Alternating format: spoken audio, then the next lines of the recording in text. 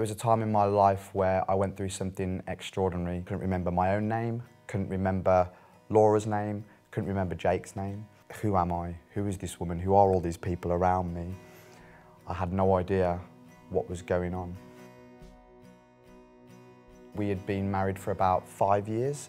We'd just had Jake. Jake was about 15 months old. He'd gone to bed, but then, as is the case often with children, he'd woken up again. Dan went up to settle him, and then I just heard an almighty bang. So obviously I called out, no reply, so I ran up the stairs to see, and he was just lying on the floor um, in our bedroom, uh, just had something had happened and he just collapsed. By the time the ambulance came and they saw him, he was starting to come round a bit, but seemed very confused.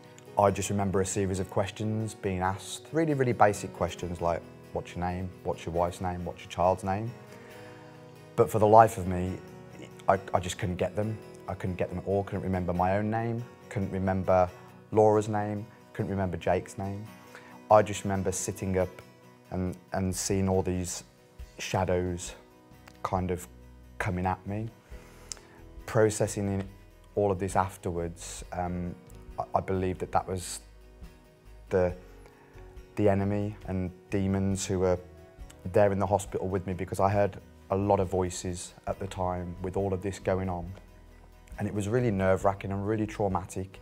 We kind of managed to work out and piece together that um, he'd lost about 15 years of his memory at that point. He could only remember things from his early childhood up to teenage years. No doctors really knew what had happened, so we part of it we were just kind of left to figure it out ourselves and get on with it. When I was discharged from hospital, I remember coming home and walking into a house where there's all these pictures of me up on the wall, but I had no idea. I had no idea where these memories were from, no idea where the pictures were taken. It was feeling comfortable in your own home. But I know that for everyone around me, everyone that loved me, the church included, it was, it was massively, massively difficult to see us going through what we were going through. It was a good three months.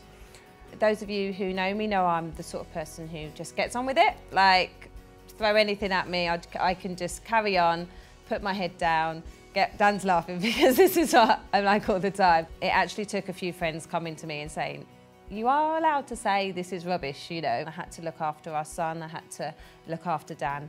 Um, but at the same time, stopping and saying, right, God, we need, we need a change here. We need a miracle here. We need something to happen here. Laura had filled me in about giving my life to Jesus, what it was that we believed as a couple and as a family. But the love that I felt when I first came back to the church, it was, it was overwhelming because I didn't know who anyone was. But just to be in that environment, I think was the start of my, my own healing journey. We couldn't have got through it without our church family at that time.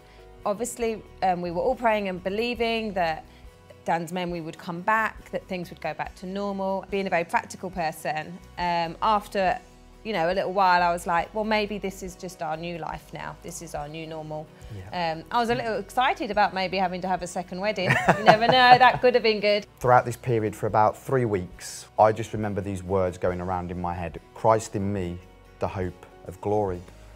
And I mentioned this to Laura, and Laura just said, Oh, this is a song that you absolutely fell in love with when we were at a conference called Grapevine. And as Laura started to play the song and the words resonated as it got to the chorus, Christ in me, the hope of glory, in an instant, about 75% of the memory came back. I was there looking in the mirror and I was just weeping, weeping. And I just said to Laura, I remember.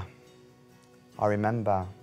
And I just remember crying. I just remember Laura being overjoyed and ecstatic. I think the weird thing for me is that I remember not remembering, but I could remember all the times that I'd reintroduce myself to these people. But obviously then all the memories that I'd had of them, it all came flooding back.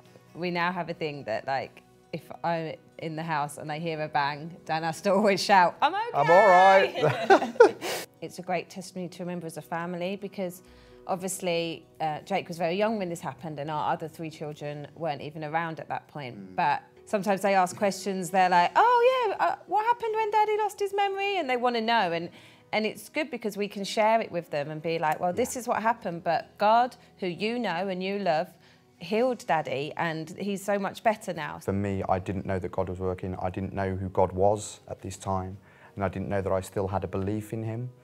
It just goes to show that the power of God is always at work, and He restored me through the power of a song, through the power of music. It has given me absolutely no fear when it comes to sharing the gospel because I know that I know that I know that God saves and God still heals today.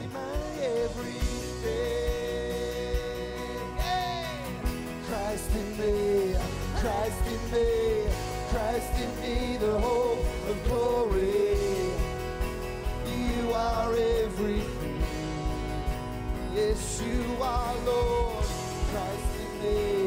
Christ